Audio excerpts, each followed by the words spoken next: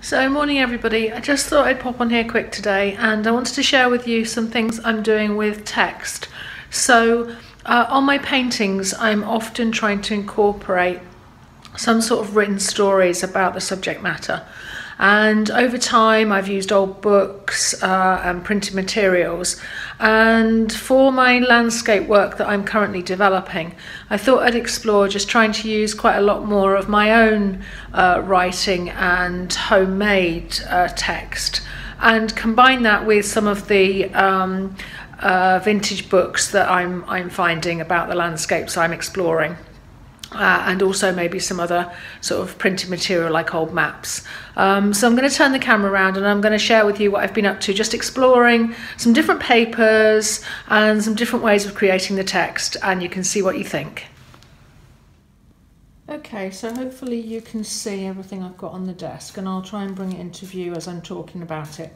So I've been using um, two different really types of paper, some cheap, and I'll show you the roll, some cheap um, paper, sugar paper um, that I've been using. Um, and sometimes I have tried painting it with white acrylic paint and sometimes I haven't. Um, and then I've been using this um, rice uh, paper as well. So I'll just show you what I've been up to. So I have tried a number of different techniques. So on this sheet here, um, I have tried so I've painted this paper white and then I've painted it with either the uh, indigo paint or the um, yellow ochre paint. And you need to paint it um, quite thinly as I found out because that is far too thick and so that didn't really work very well. Um, so I then painted it a lot thinner and that worked a lot better. So I quite like this. So you, you literally, the way you do it is you dry the white paint off, then you paint the top layer on and then I just scratched into it either with a twig or a stick or um, with uh, something like this. So nothing um, very, you know, sort of dramatic, just either a, um, this um, palette knife here or just a, a piece of the heather um, and you get these quite nice effects. So I quite, I'm quite liking that. And then I just tried um, using uh, inks, um, which actually again works really well. Um, and what I've been using is a mixture of different types of inks actually. So I've been using a Documents ink, which is waterproof, and it's the stuff I fill my Pantene pens with. So I had that to hand, so I've been trying that, and that's worked quite well. Uh, I've been trying acrylic inks and this is a, a, mixed acrylic ink that I've created, so that works quite well as well. And then I've been trying the walnut ink here. Um, and so what you see, oops, uh, what you see here is actually the, the walnut, the brown, the walnut ink there. Um, and that's one of the darker blue ink. Um, so that's those are quite interesting. Um, and then what I did was I started to do um, more lettering and trying just practicing different um, approaches to it, either printing it in capital letters, hopefully you can see that, um, or using it in a much more, so I've been using a bamboo uh, stick as well, and then you can be quite spidery and sort of um, just sort of twirly and twisty with the, with the things, and so that's what I've been using to create that there. Um, and uh, more so here with the inks that I've just described. And I kind of, the jury's still out really on whether I like it on the painted paper. I'll show you in a minute on the non-painted paper. And I think that works just as well, if not better. Um, I've also tried some stenciling um, and I tried different paints. I've tried a golden that's a liquid, so it's quite thin. I've tried a tube paint, which is much thicker. And I've tried using the inks and that kind of doesn't work at all. So what you find is that the thinner it is, the more difficult it becomes because it seeps underneath. So I've been using these stencils and it seeps underneath, so you need to be quite careful. And I've been using a stencil brush as well um, to dab, dab in. And I found that the thicker the paint, paint, the better. And I kind of don't mind that. I don't know that I kind of like the colours so much, and I'll show you some. And I've used smaller stencils as well. I quite like combining the different size letters. Uh, you get more of a kind of an interesting effect if you do that and turning them round and so on. So that's just me showing uh, those. Um, so then with the rice paper and with the unpainted papers, let me just show you with the unpainted papers. So this one here is the rice paper And what I really liked here was you get it does bleed a little bit. So that that was me trying to use a stencil with ink, with liquid ink, and uh, this rice paper, and of course it doesn't work at all.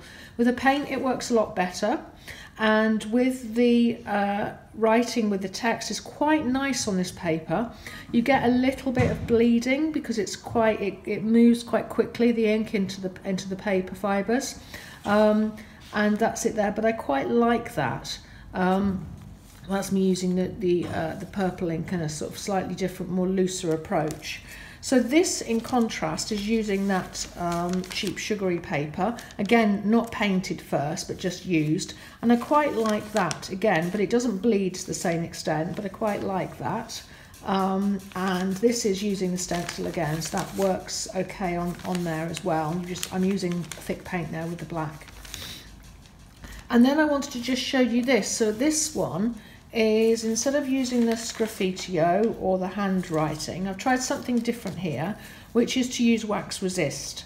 And what that is, is using um, a, a, a crayon, so this is a Crayola, just a cheap white crayon, that you write on the paper first. It didn't. I tried painting the paper, that didn't really work. So if you look at this half of the paper, um, I write on it first with this, and then I've tried this before and didn't quite like it with watercolours because it almost seems too kind of wishy-washy. So I tried using the inks and it kind of works quite well and I think it works well with the walnut ink particularly because it's a bit lighter and more watery.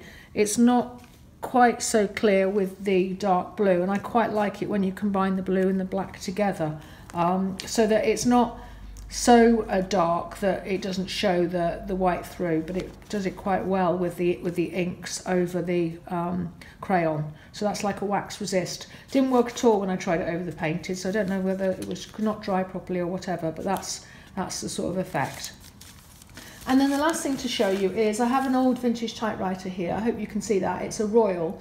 And I did clean it up at one point, but it is quite old and battered and I've changed the ribbon. But I'm actually just been playing around, just using, just typing with it a little bit and trying to see whether or not that would give me some nice effects as well. And it does because it contrasts quite nicely and it's a bit like the old printed books using the old typesets.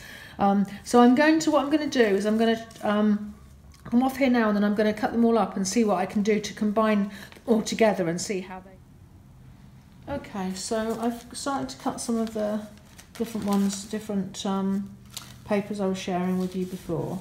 Um, so I've cut some up and I'm just going to rearrange them, arrange them. And when I have rearranged I'm just going to use a gel medium of sorts, a gloss or a matte medium to stick them down. Um, and all I'm doing is um, arranging them just to sort of show the kind of combination, how the lettering can work uh, in combination and how that can be quite interesting.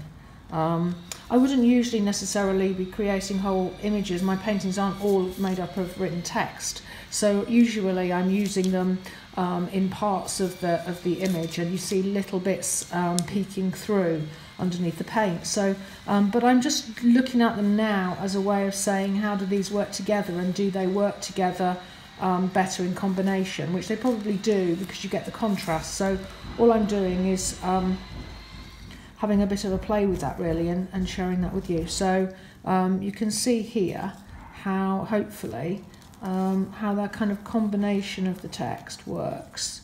Um, and I quite like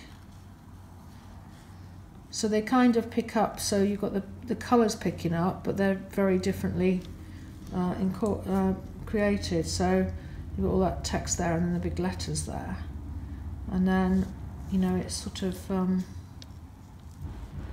it's quite interesting the kind of variations, and so that's all I'm doing really. Um, I want to do quite like that. So, say for example, maybe maybe I tear something so it's not all very pristine.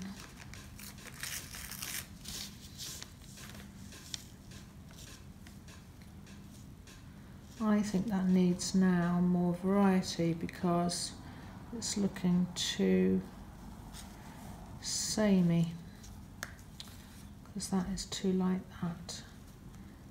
So in reality you might not want it like that. So this is quite, so again, you've got that and you might want to pick some more up. So anyway, it's just sort of uh, showing you how you can kind of just combine them together and how they can kind of um, be used. And usually, you know, you'd, you'd, as I say, you'd incorporate different pieces into a, into a painting. But it's just not, it's just interesting seeing them together now in this way um, and how that kind of works. And I quite like the idea of covering the whole paper, but on the other hand, I quite like the white space, so probably won't do that. And some of, the, some of it, it can be torn. And again, you're getting a variety there.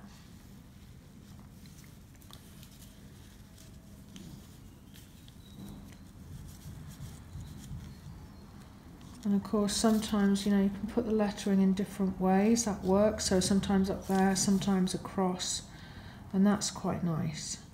Um, so it's just playing around, seeing the variety you can get and how that can create interesting compositions. Um, and what I'll do is I'll create a few and then I'll share them with you at the end. I'm just wanting to sort of show you the sort of thought process. So just literally chopping them up as you will and then um, seeing how they might look and whether or not it kind of works for you and if not how do you improve that